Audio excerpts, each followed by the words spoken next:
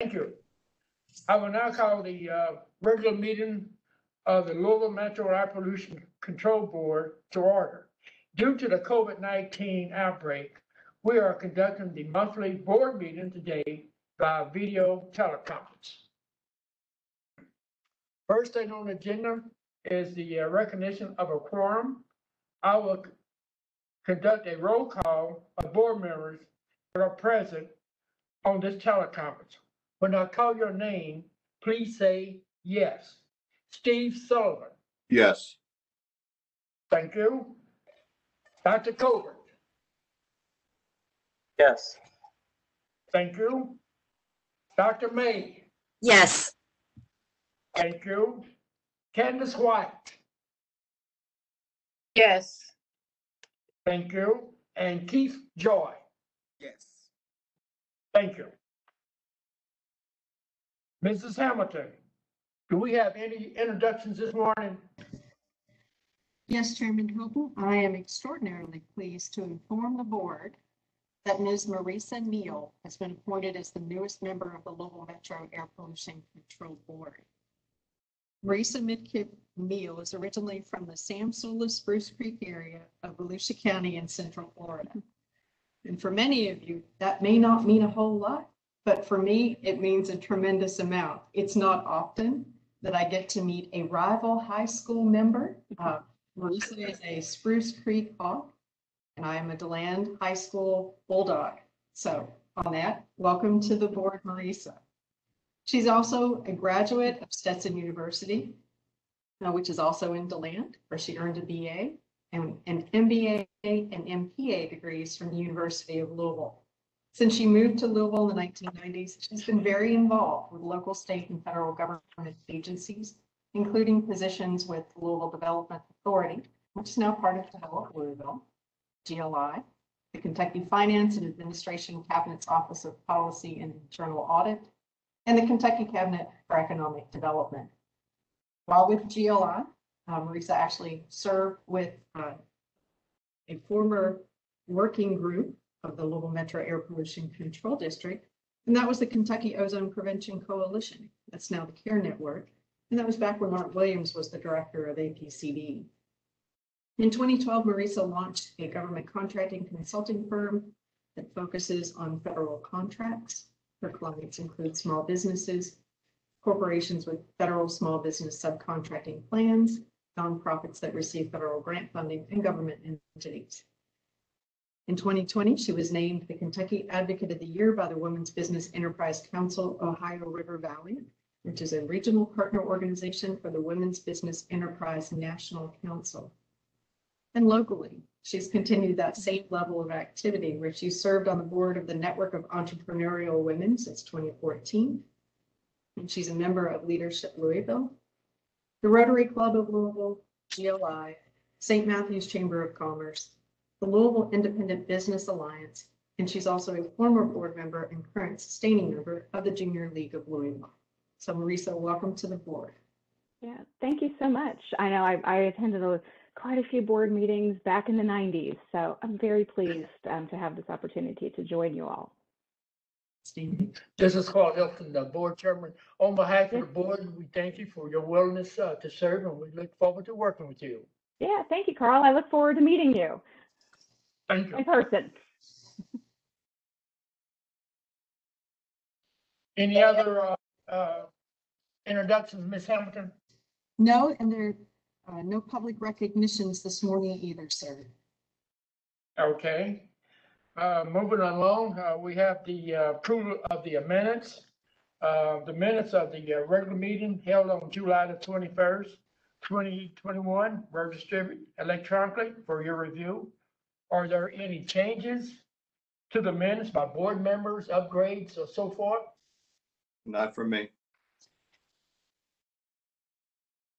Okay, hearing none, uh, the minutes stand approved. Thank you very much. Uh, moving, uh, along to public comment, Mr. Gary, has anyone registered to make a comment this morning? No, Chairman Hilton. Mr. Gary, has anyone provided written comments? No, Chairman Hilton. Thank you. Are there any other members of the public that wish to make a, a brief comment on this teleconference? Please raise your hand by tele, uh, teleconference and you will be called on. This is a feature you can find on the participant list or by pressing star three if joining by phone, and you will be called upon.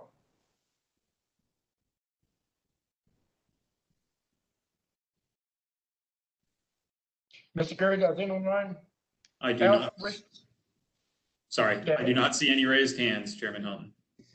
Thank you. Does anyone else wish to speak? Well, that completes the public comment portion of the meeting. Moving on to unfinished business. There is no unfinished business. New business, there is no new business. Committee reports, no committee met uh, in the last month. Staff report, we're at the uh, director's report, Mrs. Hamilton. Thank you, Chairman Hilton. And I am very sorry that we're not meeting again in person. Uh, Certainly, COVID continues to present new challenges to our return to a more normal operation. Although I will say, uh, currently Carl and our Jefferson County Attorney Stacy Dot are in our conference room A. Byron and I are in separate working uh, conference rooms here in APCD suite. And our staff are joining us here in the suite at their desk. It's 80 degrees in here this morning, so we had a little bit of a, an AC issue in the Edison Center. It might not have been all that pleasant to meet in person today. So with that, uh, APCD continues its normal return to work plan that we put in place earlier this summer. Staff are teleworking up to two days a week on a rotating schedule that helps us keep the office uh, staffing at a lower level. We are, of course, wearing masks when we're in a meeting with other people or in the office proper. We're also wearing our masks when we're meeting with the public in the field. I really encourage those who have not yet been vaccinated to do so now. You can call Louisville Metro Public Health and Wellness at 502-912-8598 or your healthcare provider if you have questions about vaccination or where to receive that vaccination. Are there any questions about APCD's COVID return plans? So we previously, I'm sorry, No, I'm sorry. we previously. Actually, um, Rachel, Uh-huh. I was just wondering, as an organization, whether or not, uh, it's been discussed about mandate or not. At this point in time, we are not required to be vaccinated. We are required to report our vaccination status to Louisville Metro government. So that's where Louisville Metro government is at this point. Thank you. All right, moving on. We've talked previously about PFAS and PFOA. These are the per and polyfluoroalkylated substances. As you may remember, there are thousands of these chemicals that have been introduced in commerce since the early 1940s. They're nicknamed the forever chemicals. They don't break down, just stay in the environment. They also stay in our bodies. And despite their decades-long use, they're not well studied. And some have been linked to human health problems, including at this point birth defects and endocrine disruption. I previously reported on steps that EPA is taking to assess and manage this group of substances and their pollution impact to land, water, and air, but there remains work to be done. EPA considers these substances to be what they call an emerging contaminant. It is getting tremendous amount of effort at EPA's level to better understand these chemicals and to develop a management plan. That said, I want to update you on some recent legislation that passed on July 21st in the US House of Representatives that's focused on these compounds. If approved by the Senate and signed by the President, the legislation would require industry to clean up contaminated sites and restrict future releases of PFAS and PFOA pollution going forward. Chemical manufacturers would also have to sponsor toxicity studies in order to keep their substances in the US market. And the bill at present would restrict introducing any new uh, PFAS or PFOA compounds into U.S. commerce for five years. There are additional parts of this legislation. It would speed up procedures that EPA would use to regulate pollution or require chemical manufacturers to test their products. It would require that EPA set federal health-based limits for certain PFAS and PFOA compounds in drinking water and offer grants to communities with water supplies impacted by those substances. Additionally, the legislation would designate those compounds as hazardous substances under the Superfund Hazardous Waste Cleanup Law and as hazardous air pollutants under the Clean Air Act. The legislation now heads to the Senate, so I really encourage those of you who are concerned about this issue to contact your U.S. Senator. And we will continue to track the legislation and update the board as deliberation on it continues. At our last board meeting, Vice Chair Sullivan asked for an update on the American Recovery Plan Act and its opportunity for funding uh, certain activities by the district. So there are both local efforts with American Recovery Plan monies. And US EPA has also received its own $100 million allocation from those ARP, American Recovery Plan funds. Locally, there are four areas that have been identified as priorities for spending the city's 388 million in ARP funds. Those are homelessness and affordable housing, workforce development and small business support, healthy Louisville, healthy neighborhoods. And this would include improving access to healthcare and child care, mental health, substance abuse, suicide prevention, and promoting and supporting healthier living environments in communities most critically impacted by COVID. And lastly, public safety. The next step is for the Metro Council to meet, review and approve these priority areas. After that, the mayor's office and council budget leaders will work with community partners on the various proposals through an open public request for proposals process. And this will result in the development of specific funding uh, within each of those four focus areas. Those projects will be submitted to the full council for approval. So that work is rapidly taking place. I expect by next month's board meeting, we'll be able to provide further update and some clarity on how those funds will ultimately be distributed here in the community. As part of US EPA's $100 million allocation, they've identified $20 million of that funding for competitive grants. And separately, 22.5 million for direct awards to state, local, and tribal air agencies for continuous particulate matter 2.5, PM 2.5 monitored. And that's at the national level. At a more local level, they're also looking at other criteria pollutants in local areas with environmental justice concerns. Here are some of the initial details for each of those funding opportunities.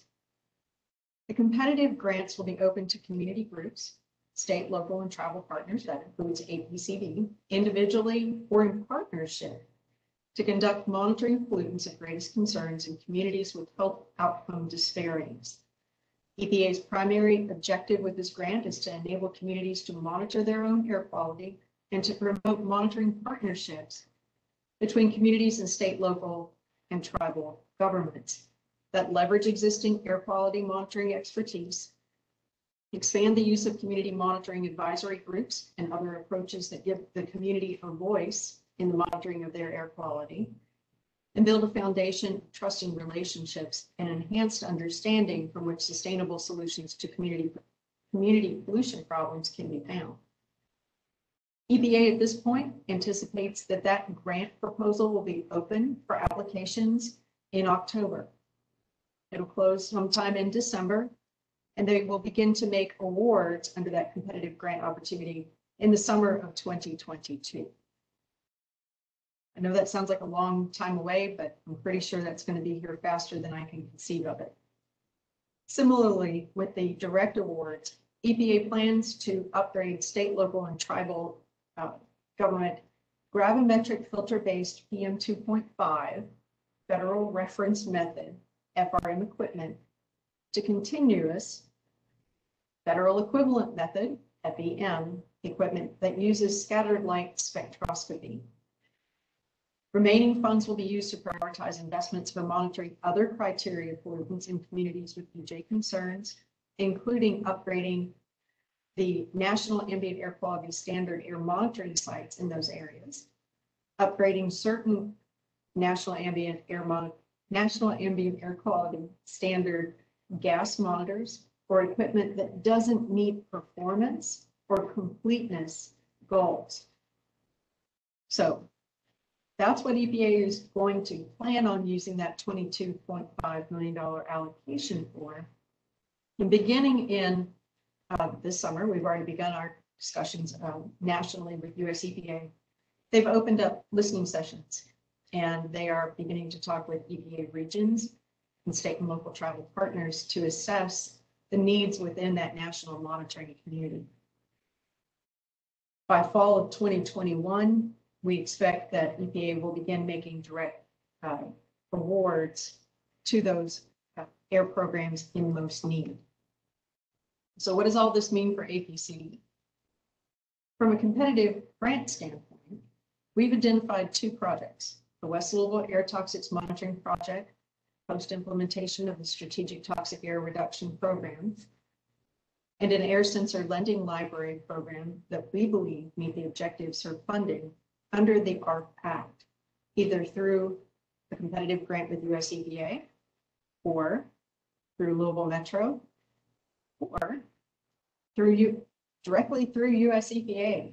Uh, we were recently approached by EPA for some information about these projects directly and we'll take funding any way we can get it, uh, whether it comes through the grant or not.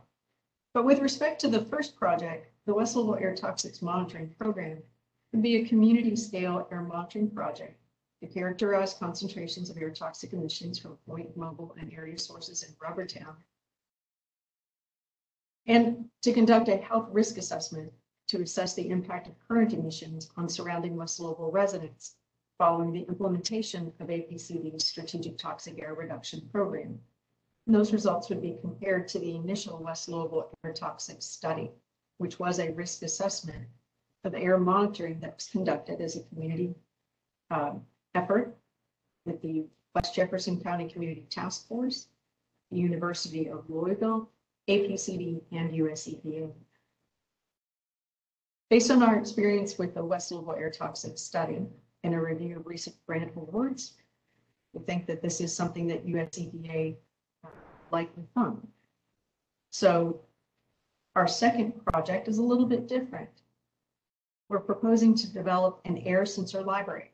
These aren't regulatory monitors, but we've all become familiar with purple air monitors. You might see those on the Weather Channel or even some of our own local weather broadcasts may have purple air sensors. Again, not regulatory monitors, but very informative. So our air sensor library will provide sensor technology on loan and air quality expertise from our very fine air monitoring staff and others here at the district to community and school groups seeking to better understand ambient air quality and evaluate neighborhood level impact of localized sources of emissions. This program, once established, will support APCD and community partnerships, educational opportunities for K through 12 classrooms, and extracurricular activities, and neighborhood level air quality screening efforts through the duration of equipment's useful life. So we believe that that project is something that we hear from the community that would be very accessible and very useful and informative for them. So, as I said, we've asked for funding from local Metro government. We will apply for a competitive grant, or we'll see if possibly we don't receive funding just directly from US EPA for these projects. And we'll keep the board updated as we go through that process of getting money to take these projects on. With respect to the direct awards, APCD has upgraded all of our air monitoring sites. um, and we operate both the federal reference method gravimetric PM two point five equipment and the federal equivalency method, continuous equipment in co-location, as we explained at last month's board meeting. So we don't expect to receive much funding from that direct funding opportunity from US EPA. Our other national ambient air quality standard monitoring equipment meets both performance and completeness goals. So we're not expecting any direct funding there either. We have asked for some funding uh, for equipment to measure carbon and PM fines, neither of which is required at this time, and some clarification on the siting criteria uh, to be under, to be sure that we understand where that equipment can be best located. We want to be sure that it's not limited to our NCore multi-pollutant site, which is located at Cannons Lane. But we want to be sure that we can site it at another location based on the community and local sources profiles. Are there any questions about the American Recovery Plan? Any questions from board members? Not for me. Thank you very much. So you will note that this month, uh, board materials do not include an air toxics report. Staff have been doing double duty in setting up the photochemical assessment monitoring station at our Cannons Lane NCore site, which includes a second auto gas chromatograph and maintaining the auto gas chromatograph at our Algonquin Parkway firearms training site, uh, which focuses on air toxics. Both systems have now undergone significant maintenance and troubleshooting and are back in order. That said, we will catch up on the final quality assurance of the data that we provide to the board in subsequent reports. In the meantime, our environmental chemist continues to review the data daily, including conducting an initial quality assurance assessment. And she alerts APCD staff and management if during that initial review, she identifies any outlying data or possible spikes. APCD's permitting and compliance staff investigate and take action if appropriate. And additionally, a cross-functional uh, agency team that includes air monitoring staff and permitting and compliance staff meet monthly to discuss the data.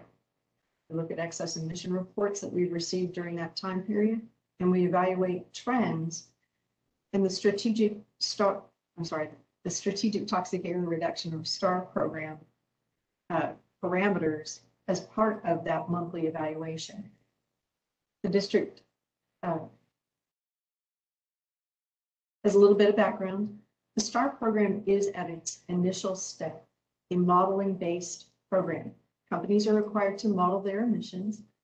And then the district uses that demonstration of compliance with the environmental acceptability goals established in the program to develop limits, record keeping, reporting, and monitoring requirements that then go into a permit so that the source is able to demonstrate their compliance with those environmental acceptability goals of the program. But the STAR program is a little bit broader than just that. It does include a provision where the district may seek additional reductions based on modeling or monitoring for an individual environmental acceptability goal or cumulative. I know that that's a bit of a wonky subject, but the provision that provides for that uh, additional reduction through either modeling or, or monitoring by the district is found in section six of regulation five twenty-one. That's really the, the core of the strategic toxic air reduction program. So if you're not familiar with that provision, I recommend that you uh, go ahead and take a look at that. It is available on the district's website under our regulatory uh, library page. There are two vacancies in our QA section. We are currently hiring for those vacancies. We expect to have folks on shortly. And that will also speed up the time that it takes us to do that final quality assurance review. Are there any questions there? I don't have any, any uh, questions from board members? Thank you. Seeing none? And finally, as you are aware, the board entered into an agreed board order. An agreed board order, forgive me. A, it's titled ABO twenty-one one with the Metropolitan Sewer District last year to address a spate of odor violations from the summer of twenty nineteen. As part of that agreement, MSD has provided an update to the board as required by condition six of the agreed board order.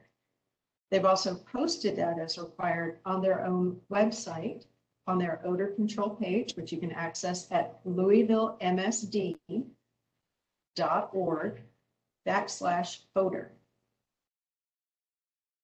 You can also find there additional required reports, including technical memos focusing on addressing odors from the Morris Forman Water, Water Quality Treatment Plant, as well as those from the collection system. To date, MSD has satisfied the ongoing obligations of their agreed board order. With respect to the communications plan, MSD has issued a request for proposal for qualified communications agencies, and they've selected Louisville-based advertising and public relations agency, Bandy Carroll Hellige, to assist them with their media relations in satisfying the agreed order. They anticipate that their communications plan will be a multi-year process and is going to include elements including overall com- communication strategy and planning. They have decided to brand and develop a logo associated with their odor efforts. Uh, It's going to be named Clarity. C, lowercase l, uppercase AI, ITY. And they will um, go ahead and begin to implement this new branding effort going forward. The odor control page that you may access now will likely be changing in September. They have done additional work to make that more user-friendly, and I look forward to seeing their efforts there. They're also working to update their public uh, odor complaint form for submitting odors. They expect that to be live in September of 2021 and to be accessible through their uh, their customer service online portal. They're also updating their odor control brochure and flyer. Uh, They will begin to do public service announcements on TV and radio in September. And also some expanded digital advertising uh, beginning in September and running through mid-October. I think this is one of the more important elements, these last two, and that is that they are planning to hold a series of public meetings. I know we continue to hear about odor complaints from MSD and also about how to get in touch with MSD about those odor complaints. But they intend to hold these beginning around in the communities around the Morris Forman Water Quality Treatment Facility first. And those are expected to begin in late uh, 2021. After they complete these community meter meetings, they will conduct an odor survey. And that will likely take place sometime in early 2022. And so with those elements in mind, you can see how they have identified this to be an ongoing and multi-year process. I am hopeful that public will let MSD know directly about the odors in and around their homes. And that MSD will continue to take efforts to uh, address these odors and to notify the public of issues that may be causing. them. So this concludes my report, Mr. Chairman. If there are no questions, uh, Byron Gary will present an ozone National Ambient Air Quality Standard update. I just have one quick uh, question, Ms. Hampton, before we go to, um, to the uh, presentation. Um, What is the status? Several months ago, you mentioned that there are several companies and environmental groups uh, filed a federal suit to challenge EPA's decision in 2020 to retain the current uh, 70 parts per billion ozone standard. What's the status of that? US EPA has taken on the review of that standard and they're currently conducting that review. Uh, Byron can correct me, I've been on vacation for two weeks, so I'm a little out of touch, but My recollection is that they may have a final determination on that uh, 2023. Um, I don't know that they have a timeline set yet. Uh, I think they're taking on the PM standard first. The, the uh, fine particulate uh, matter standard or PM two point five was finalized before the ozone standard and they also decided to retain that one. Um, so I think they're tackling that one first, which they have said they, they are potentially reconsidering uh, or are reconsidering at this point. Um, they've already um, begun the process of putting together a new policy assessment and re-impaneled the fine particulate matter um, uh, um, consulting board for the uh, Clean Air Scientific Advisory Council. Um, so I, I think we'll hear more about ozone later. I think both those suits that were filed are sort of on hold right now because EPA has said they are, are looking at all those decisions again. Okay, thank you. Mr. Chairman, we'll provide you with a more formal update on the ozone standard at next month's board meeting. That'd be great. Thank you. So I think we're ready for the presentation. Thank you. Uh, Thank you, Chairman Hilton and board members. Um, So everybody here knows me now uh, as our um, Secretary Treasurer for the board. Uh, My other role for the district, uh, I've been Secretary Treasurer for um, about six months now, but my other role uh, ongoing has been as Regulatory Coordinator for the district, uh, going on about five years now in that role.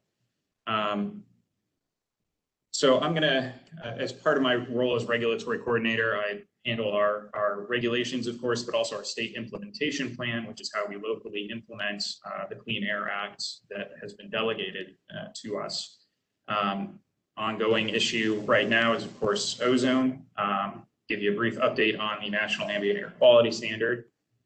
Um, of course, we always like to start with uh, at least a brief overview of ozone. Uh, I think everybody has probably seen some version of this slide at some points by now.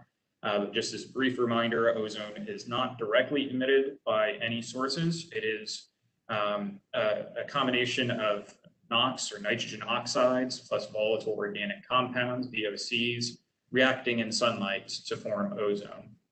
Uh, so because of that, uh, our ozone season tends to be uh, in the summer. Uh, officially, regulatorily, for monitoring purposes, our ozone season is March through October. But we tend to see the most exceedances in June through August, uh, sometimes going into September. Uh, ozone in the atmosphere has a number of health effects. it can cause shortness of breath, it can inflame airways, aggravate lung disease, and increase frequency of asthma attacks. Um, of course, I should also point out this is at the ground level. There is also stratospheric ozone, that ozone layer that we actually try to protect. So we want ozone up high, not down low. Uh, good up high, bad down low. Um, it is not quite as simple as that. Uh, we like to make it as simple as possible to communicate, but I should point out uh, it's not as simple as NOx plus VOCs equals ozone. It's really a series of complicated, nonlinear, cyclical reactions as shown in that uh, um, formula on the left. Um, it, it goes in cycles. NOx can be both a scavenger and a contributor to the formation of ozone. And of course, it also depends on how much uh, NOx and VOC is in the atmosphere. That ratio between the two uh, determines partially uh, what the most effective way to control ozone is by, uh, you know, bringing down our NOx levels or bringing down our VOC levels. That's sort of what that graph on the right shows it's not really important that you understand the, the details of all that. I'm glad to um, find somebody who knows more about the science to give a more in-depth presentation on that part if you guys are interested. Points is more just this, this is a really complicated pollutant and, and it's been an ongoing struggle for us. Um, the National Ambient Air Quality Standard for ozone, of course, has been uh, changed over time. Um, this is a series of images from uh, US EPA showing non-attainment areas for each standard. Uh, in 1997, EPA first adopted the eight hour standard in the sort of form that we're used to now. And that map on the left shows how many areas were designated non-attainment at some point for that standard. Um, they updated that standard in 2008, lowered it from um, from 80 parts per billion to down to uh, 75. And then, of course, they strengthened it again in 2015 down to 70 parts per billion. Um, the other important thing to point out here, uh, Louisville is in green on the map on the left here. We were designated non-attainment uh, for the 97 standard.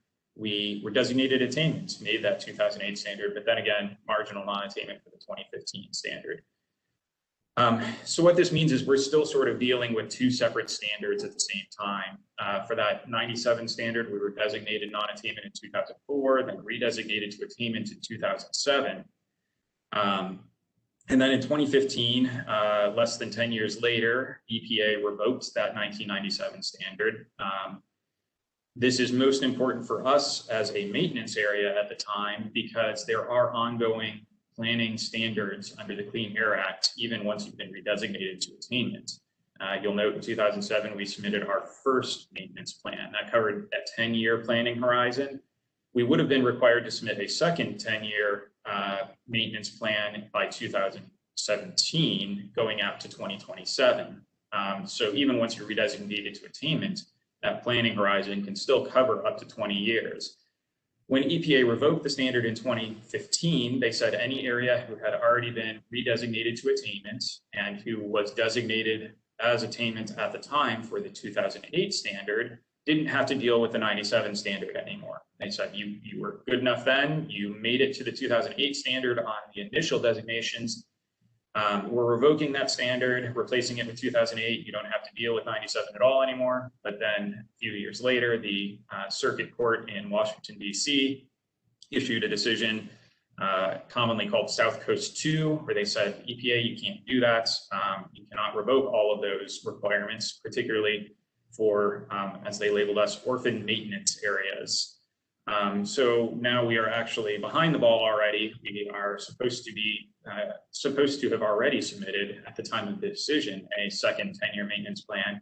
Work on that maintenance plan is ongoing, um, and the importance of that will become apparent in just a little bit. Um, parallel to this, sort of a, a parallel timeline, EPA also updated the uh, standard again in 2015. We were designated marginal non-attainment in June 2018 with an effective date in August. And after that, uh, it sort of kicked into gear a series of uh, requirements. Basically, a new requirement kicks in every year after that non-attainment designation. The first was that we had to start doing what we call conformity again um, for all of our transportation projects, most specifically, or most um, importantly, we have to show that we are not causing or contributing to a violation of the standard um, when we are required to do conformity. Um, the revocation of the 97 plan sort of threw a wrench in that because at this point we should have already been projecting emissions out to 2027, as I stated, and we would have had a new set of what we call motor vehicle emission budgets to compare against. Um, because that standard was revoked and we're late on submitting that second one, we're still stuck with the original uh, 2007 redesignation and the motor vehicle emission budget set there. So it's kind of important that we update that to make sure that we have a, a standard to compare against. Um, the next requirement was last year. Um, the board may uh, recall approving changes to regulation 1.06, our emission statement rule that requires certain sources to report emissions to us annually. Uh, we have lowered the threshold, so anybody with uh, greater than 25 tons per year rather than 100 uh, tons per year of NOx or VOCs are now required to report to us annually. Uh, those first reports were due uh, earlier this year. Uh, we also were required to submit an emissions inventory for the complete non-attainment area, which includes not just Jefferson County, but Bullitt and Oldham counties in Kentucky and Floyd and Clark counties over in Indiana. Um, that emissions inventory is past due at this point. Uh, the state has taken on sort of the lead role in that since it covers a broader area and has put out a um, draft of that for public comment right now. Comments are due August 26th. If anybody is interested in commenting on their draft emissions inventory. Uh, the next deadline after that also just passed. Uh, August 3rd of this year was the attainment deadline, as well as the non-attainment new source review SIP uh, deadline. Uh, we did certify that our current non-attainment source review rule is sufficient. That SIP has been submitted to EPA on time. Um, but we are now past our attainment deadline. Um, and under EPA's own rules in the Clean Air Act, they're required to determine whether we made attainment based on the most recent three years of available complete data as of the deadline. So that's a decision that EPA is going to have to make based on 2018 through 2020 uh, monitoring data. Um, you see the note there that anticipated classification proposal was originally anticipated around the time of that deadline. It's been a little bit delayed, but we still are hearing that it should come in uh, late summer, early fall, so probably sometime in September at this point, it's sounding like. Looking forward on the 2015 standard, um, the deadline for a final action on reclassification of areas that failed to meet that um, deadline is due by third, uh, February 3rd, 2022. So by early next year, we anticipate that EPA will be reclassifying us from marginal up to moderate non-attainment because we failed to meet that deadline. This kicks in a whole nother set of requirements for that moderate classification. The first being uh, RACT RACM or reasonably, reasonably available control technology and control measures, uh, reasonable further progress plan, and a 15% plan showing 15% reductions in uh, certain pollutants um, by certain deadlines. The, the deadline for moderate non-attainment areas to reach attainment is August 2024. Um, and there are other requirements going forward should we fail to make attainment by any given point, including um, things like the vehicle inspection and maintenance requirements or the, the VET program potentially having to come back if we fail to make attainment by um, before that requirement becomes due. Um, so where are we? Are, are we making that standard? Are we going to make it? And when? Uh, I, I know everybody is sitting on their edge of their seats waiting to see uh, that monitoring data come in like I am. This graph is another one that probably pretty familiar uh, in some form or another to most everybody. Um, the large colored blocks, you can see that standard as it was lowered over the years, the blue being the 97 standard and the orange on the far right being the current 2015 standard. Um, and you can see the trend line of Louisville's monitoring data. Um, each year dots represents a, a three-year average design value because that's how the, the um, attainment or non-attainment is determined. It's based on a three-year average. Um, and currently our most recent three complete years of data uh, ending in 2020 show us at 0.072 parts per million. Um, so we're not quite there yet. Um, this year so far, knock on wood, uh, has been a, a little bit better. Um, Cannons Lane, the uh, third from the left here, um, has only shown one exceedance so far this year, uh, 78 parts per uh, billion in June, um, on June 4th. Um, the Carrithers monitor uh, southeast of there has shown three so far, uh, which is the most of any monitor. Um, and just a quick note, um, because we switch units back and forth sometimes here. The official form of the max is in parts per million. So you will see it expressed as 0.070 parts per million. Uh, but as a shorthand, we frequently move that decimal place over three places and call it parts per billion instead, because it's a lot easier to say 70 parts per billion than it is 0.070 parts per million. Um, and the, the number of exceedance days and exceedances across all our monitors has gone down from year to year. Uh, this chart, as well as the last table, are from our monthly uh, air quality monitoring report distributed to the board and available on our website. Um, so you can see the big jump from year to year, uh, but this year so far has been uh, on par with one of our better years. Um, and this has led to so far our preliminary design value in the ozone season isn't done yet, but for the, the most recent uh, data, the three-year average from 2019 to 2021 is 69 parts per billion at our Cannons Lane monitoring site. So, so far, uh, we're making it this year. Um, of course, this doesn't forestall that moderate reclassification since they're required to make that determination based on the, the most complete data at the time of our deadline. Um, but it can help forestall some of those uh, future requirements if we do make it to attainment this year. Um, and uh, just really quickly about the design value, uh, just sort of a wonky bit of math here. It's calculated in a sort of odd way. The standard, as I, I said, is 0.070 parts per million. Um, the form of that is the annual fourth highest daily maximum averaged over three years. So for each site, the fourth highest eight-hour reading uh, is taken, and the the fourth highest for the most recent three years is average. Um, and each site and each hour are reported in those parts per million to the third decimal place. And anything after that third decimal isn't rounded, it's actually just cut off, uh, which leads to sort of some confusing calculations. At least to me, it's sort of counterintuitive sometimes. Um, there's sort of a hypothetical there from, from Cannons Lane, or not a hypothetical, but showing 20, 2019 through 2021, I should say, so far, how we got to that 69 parts per billion. Uh, but it leads to counterintuitive uh, hypothetical below. If you were to have three years, one with 70, even 70.9 parts per billion and 71.9 parts per billion and another 71.9 parts per billion, uh, if you truncate each of those third decimal places, add them up and divide by three, you actually get 70 parts per billion. So even if you only have one year actually making the standard, you can sometimes end up in attainments anyway.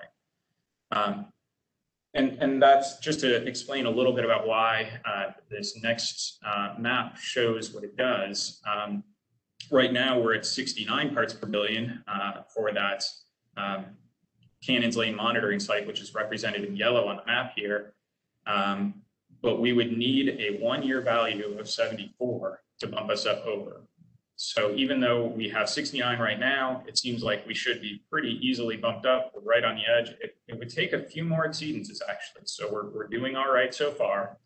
Um, and that Carrithers site, which is just southeast of the Cannons Lane site, uh, Cannons Lane being yellow, um, Carrithers has had three exceedances already, but even at that, uh, because of the form of the standard, it would actually um, take a fourth maximum going all the way up to 81 parts per billion in order to uh, bump us up into non-attainment at that monitor. Um, so I just wanted to explain some of the ins and outs and where we are right now. Um, that is all I have as far as the presentation, uh, but I'm glad to take any questions from the board uh, or with uh, permission of uh, board, any questions that the public might have. Uh, but I'll turn it back over to, to you, Chairman Hilton. Are there any uh, questions or comments uh, from board members regarding this presentation? This is Steve Sullivan. I, I have a, a question, I guess, is kind of a follow-up to the air pollution working group that occurred at the end of 2019 and maybe through early 2020 Yeah, that ultimately was going to address um, strategies and uh, programs to reduce ozone. Mhm. Does that have any, is, is that, any of that been implemented and you, So a number- any effect related to that? Yeah, uh, you're referring to the multi-pollutant stakeholder group. So the main goal was ozone, of course, but uh, as we address ozone, trying to find strategies that can help us lower other pollutants like PM and air toxics. Um, but a number of those recommendations have actually come into to play. Um, you'll recall a presentation a couple months ago I gave about our air quality action partners plan. That was implementing a number of the recommendations from the Point Source Committee that we a um, a that point sources try to find voluntary ways to, to reduce their ozone. Um, B, that we um, encourage point sources to participate in a number of other programs such as the Kentucky Pollution Prevention Coalition and, and things like this. And C, that we give recognition to companies who do uh, take those sort of steps. So we've we've uh, implemented that one on the point source. Uh, that was the committee that I was uh, sort of um, helping implement. Um, there were a few other ones there that we have begun taking looks at. Um, I, I don't know if anybody wants to speak to any of the other uh, working groups right now, but I know we have definitely been working through a lot of those recommendations. Could give you a, a fuller report perhaps in the future of uh, sort of where we've gone gone with the MPSG uh, since the time those recommendations were finalized in 2020. Were the voluntary steps from industry, are, are they continuing to grow? Um, because I know at first the response was favorable. Yeah, so, yeah, we got, um, I think twenty-eight initially, we've only had one additional sign up since, uh, that last, um, presentation I gave recognizing companies. Um, the sort of deadline for recognition before the board that we set, just sort of as an informal, uh, timeline was back in April. Um, so I think everybody who was going to sign up for this year and had heard about it tried to meet that deadline or were shortly after. I don't anticipate a whole lot more rolling in as this year goes on, but uh, we do intend to continue that program going forward, and we're looking at ways even to potentially expand it beyond those sort of um, large point sources that we permit and trying to partner with uh, other agencies or groups to try and find ways that um, maybe non-point uh, sources or other businesses can help um, contribute to air quality uh, improvements in Louisville. Thank you. Are there, Mhm, thank, you. are there any other uh, questions from board members? Uh, Mr. Gary, I have one uh, question. Is it possible that maybe uh, before the end of the year, we could get a presentation on reformulated gas? Because I think we, that is one of the reasons that we are um, attainment in Jefferson County is because of reformulated gas, isn't it? So that's a really tough question, and it goes back to that sort of second slide with all those complicated formulas and graphs. Uh, It's not really possible to say definitively uh, whether any one thing has gotten us to where we are. Uh, And really, the biggest factor year to year tends to be the meteorology. Um, The, the long-term trend is certainly attributable to a number of different reductions, including reformulated gas, which does have some benefits over um, conventional gasoline. Um, but um, the, the bouncing up and down from year to year that you tend to see is because some Right. summers are, are hotter, some are more humid, which is actually a good thing for ozone. Some are windier um, and things like that. Uh, but we have given presentations before. I, I think uh, with uh, Director Hamilton's permission, we'd be glad to, to pull one of those up and update it and, and give another presentation on, on uh, RFG, its benefits and where we stand with it right now. The long and short of it is though, until we are in attainment, any reduction would be, um, it just as a legal matter, almost impossible to get rid of under the Clean Air Act. So Well, why can't we get rid of reformulated gas? I mean, it's more, we're paying more for gas So, compared to. I'll let some Rachel other- step in there. yeah, I'll jump in real quickly. So like our uh, peers over in Martin Floyd County, here within the metropolitan statistical area, Use of reformulated gas and Reid vapor pressure gas in Martin Floyd County are part of our control measures that are adopted into our state implementation plan. We've already committed to doing that as part of our ozone management. Okay, under the Clean Air Act, two conditions. Uh, It's section one ten L of the Clean Air Act if you are in attainment. And then it's section one ninety-three of the Clean Air Act if you're in non-attainment. Set up very significant bars to removing control measures until an area is able to demonstrate that it either attains the status of the National Ambient Air Quality Standard or that it can maintain that status. So at this point, because we are in non-attainment, it's not possible for us to remove that as a control strategy. okay.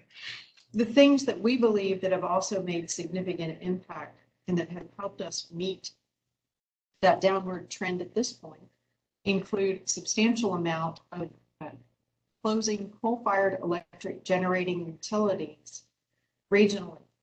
They produce a tremendous amount, amount of nitrogen oxides or that NOx portion of that NOx plus VOC in the sunlight equation.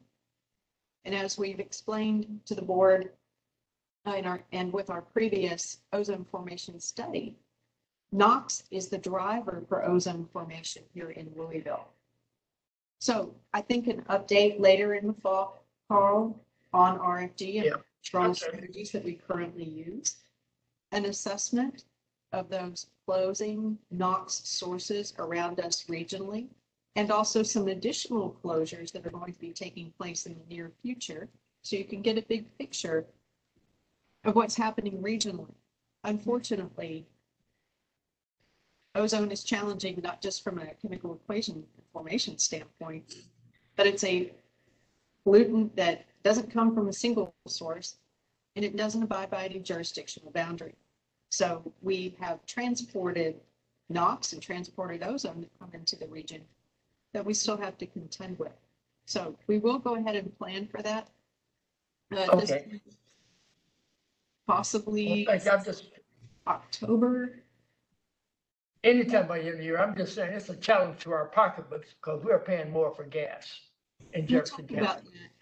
that And why that's necessary, um, and why it's not possible for us to reduce that control measure at this time. And I want to point out, because it ties back to Mr. Sullivan's question about the MPSG recommendations. Um, one, there was a mobile source recommendation that we do retain RFG at least until we are back in attainment and continue to evaluate it, which we do continue to evaluate it.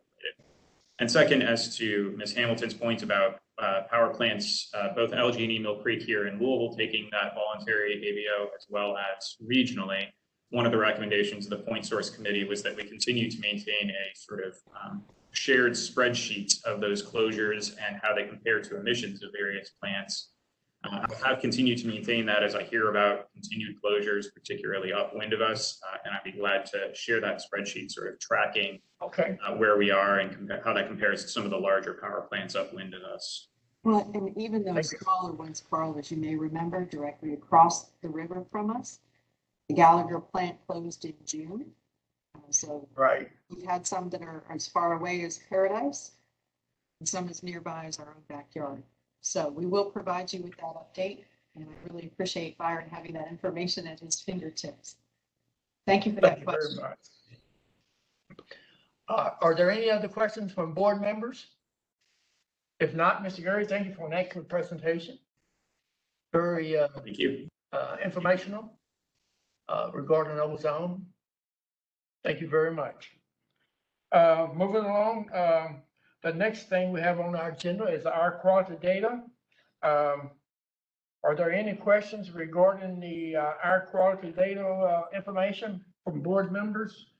Um, these reports were uh, distributed, uh, electronically. Are there any questions by board members regarding our quality data report?